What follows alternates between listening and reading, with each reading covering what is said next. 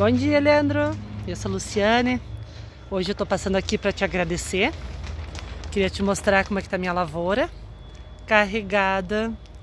Então eu estou em Curitiba, aqui no Paraná, e aqui tá muito frio. Então eu tô com a estufa fechada hoje. Apareceu o primeiro solzinho hoje. Tava já uma semana chovendo muito. E ainda tá abaixo de 10 graus hoje. Mas hoje eu vou abrir a cortina. Eu queria te mostrar como estão carregados os canteiros e te mostrar como estão bonitos. Olha que coisa linda que estão.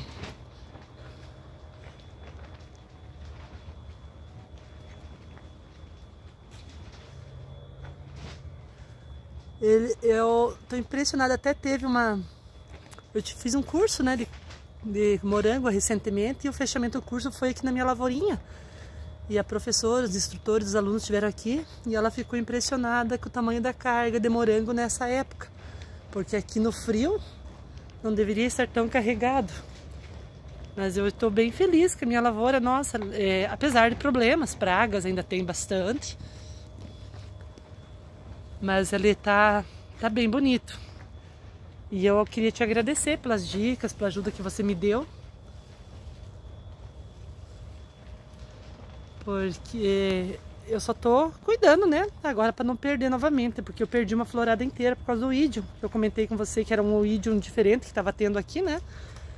E realmente parece que esse ídio que está dando aqui no sul não é um ídio normal, parece ser uma mutação. Então agora ele deu uma controlada, mas ainda é um problema esse ídio aqui na nossa região. Porque antigamente era uma coisa fácil de ser tratada e agora está bem complicado.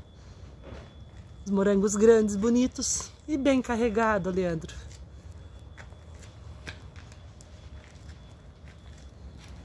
Então, só estou passando hoje para agradecer as dicas que você deu. Sempre quando se fala sobre alguns detalhes importantes que a gente tem que tomar atenção, né? Então, só estou passando para dar um bom dia e muito obrigada para você. Um abraço, Leandro.